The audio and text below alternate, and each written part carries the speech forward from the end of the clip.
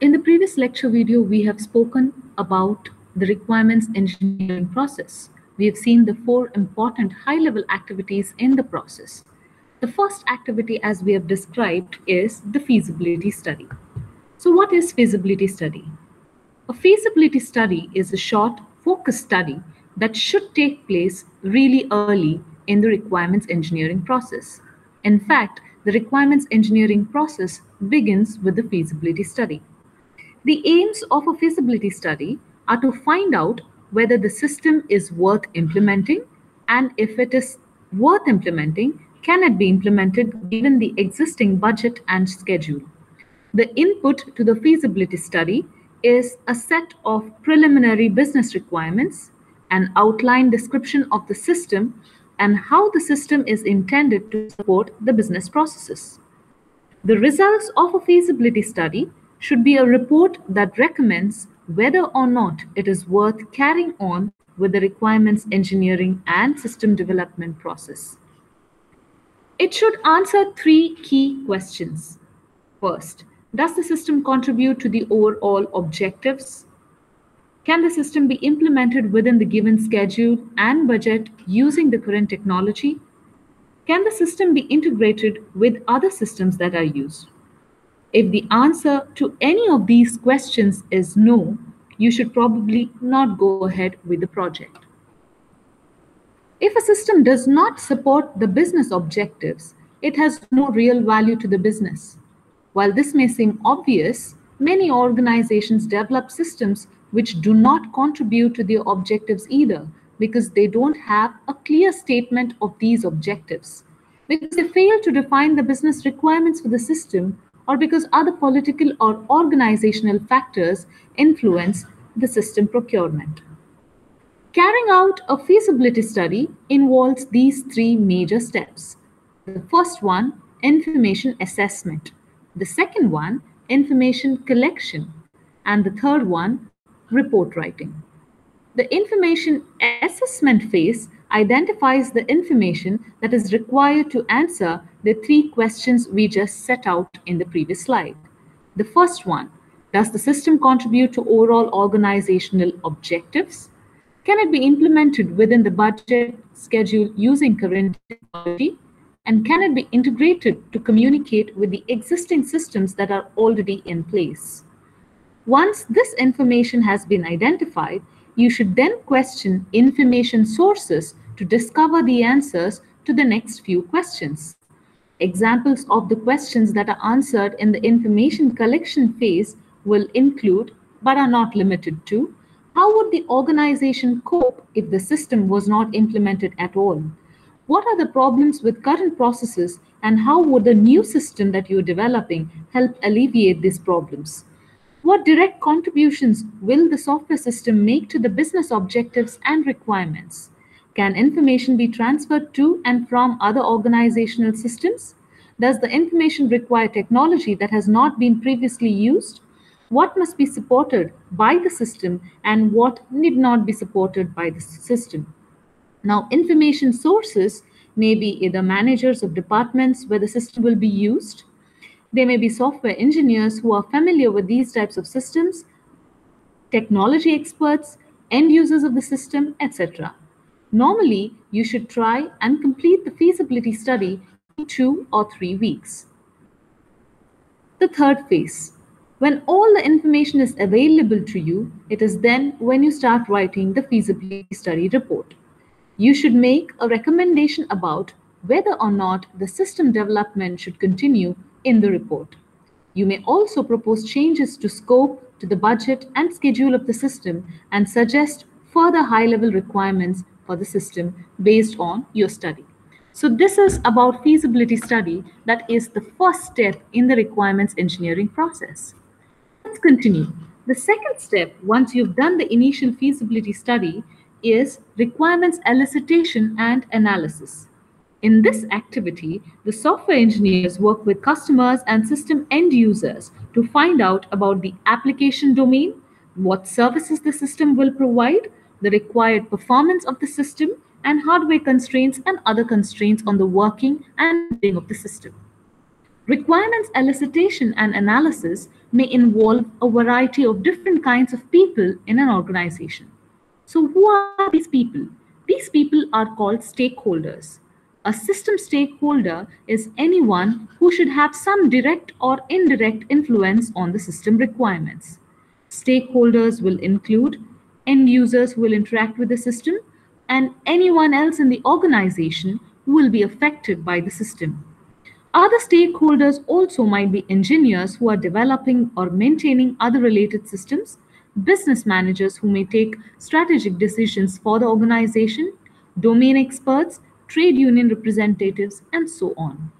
Take a look at the diagram here on the left-hand side of the slide. This is the requirements elicitation and analysis process. The first step, so this is nothing but a process model of the elicitation and analysis process.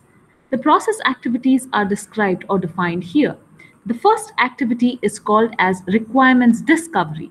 Let's study what requirements disco discovery is. This is the process of interacting with stakeholders of the system to discover their requirements. Domain requirements from stakeholders and documentation are also discovered during this activity. There are several complementary techniques which we will study in detail in the upcoming videos. The second step, requirements classification and organization. This activity takes the unstructured collection of requirements, groups related requirements, and organizes them into coherent clusters. The most common way of grouping requirements is to use a model of the system architecture to identify subsystems and to associate requirements with each of these subsystems. In practice, requirements engineering and architectural design cannot be completely separate activities. Let's go to the third step, requirements prior prioritization and negotiation. Let's define what this is. When multiple stakeholders are involved, requirements will definitely conflict. This activity, the third activity, is concerned with prioritizing requirements and finding and resolving requirements conflicts through negotiation between different stakeholders. Usually, stakeholders have to meet to resolve differences and agree upon compromise requirements. The last step, requirement specification. The requirements are documented and input to the next round of the spiral. We have seen the spiral of the requirement engineering process in the previous lecture video. So in the last step, this is where you document the final requirements after arriving at a consensus in case you had a conflict between stakeholders. And this will provide input or this will serve as input to the next spiral. Formal or informal requirements documents will be produced here. The requirements elicitation and analysis is an iterative process with continual feedback from each activity to the others.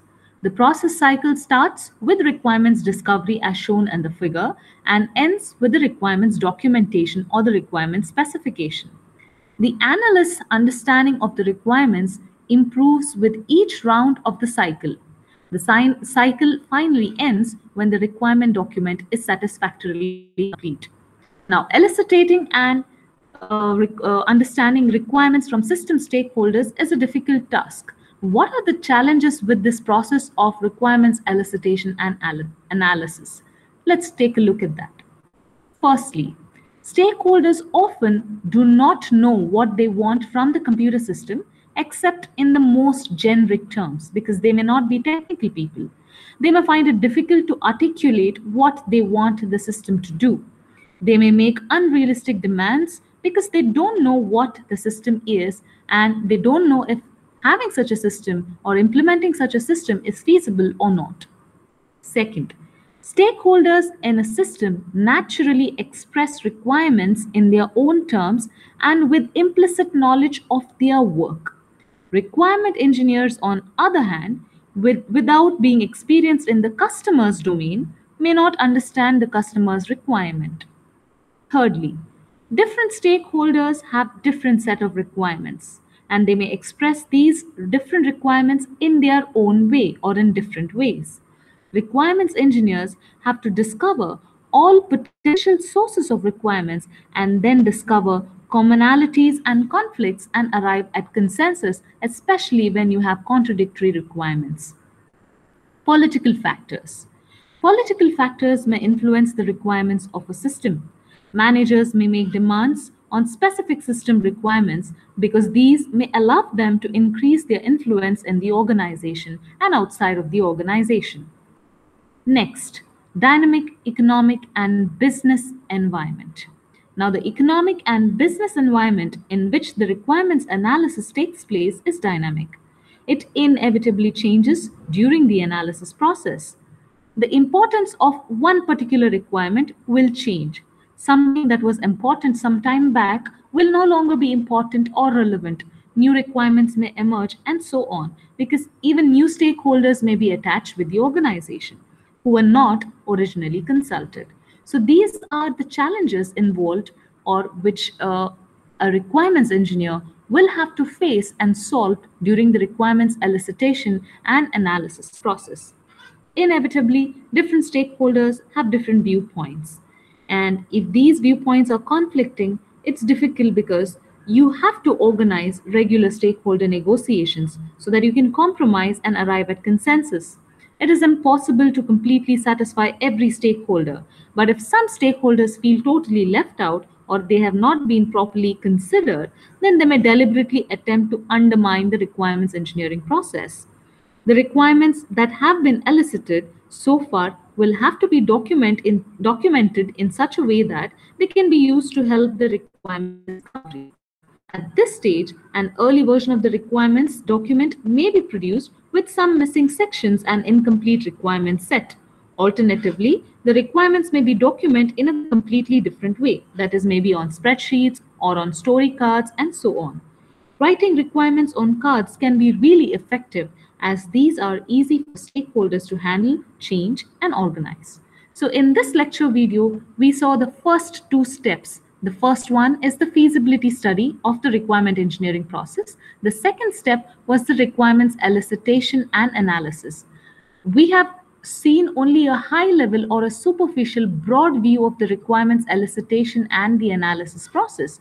We are going to talk about each of these phases, that is requirements discovery in particular, the specification, validation of all these requirements in detail in the upcoming lectures. Thank you.